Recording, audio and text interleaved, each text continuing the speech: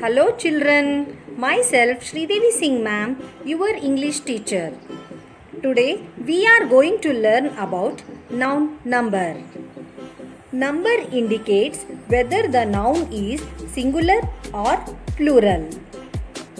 A singular noun which refers to one person, place, thing or idea is singular noun. Example actor, stadium, table, item. A plural noun which refers to more than one person, place, thing or idea is called plural nouns. Example actors, stadiums, tables, 15 items. Children, I think that you are familiar with singular and plural nouns. Do you know children? There are some rules to convert the singular form into plural form. Today I will explain you two rules of how to convert the singular form noun into plural form. First rule Nouns that end with ch, sh, s, x or o. We add an es to the words to form their plural. For example, here you can see children. The word watch. It is ending with the letter ch. So, we should add es to convert singular noun into plural noun. It becomes W A T C H E S watches. Next word is bus.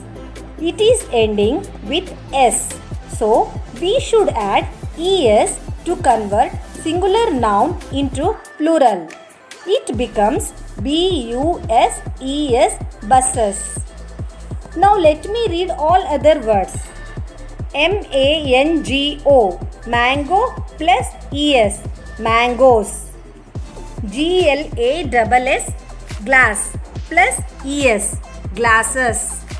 B O X box plus ES boxes. B R U S H brush plus ES brushes. Now let we learn second rule. Nouns that end F or FE form the plural by changing the F or FE to VES. Children, you observe the word L-O-A-F loaf. It ends with F. We should add VES to convert into singular noun to plural noun. It becomes L-O-A-V-E-S loaves. In the same way, the word K-N-I-F-E knife is ending with F-E. Then we add VES to convert into singular noun to plural noun. It becomes K-N-I-V-E-S knives. Now let me read all other words. W-O-L-F wolf. W-O-L-V-E-S wolves. H-A-L-F half. H-A-L-V-E-S halves.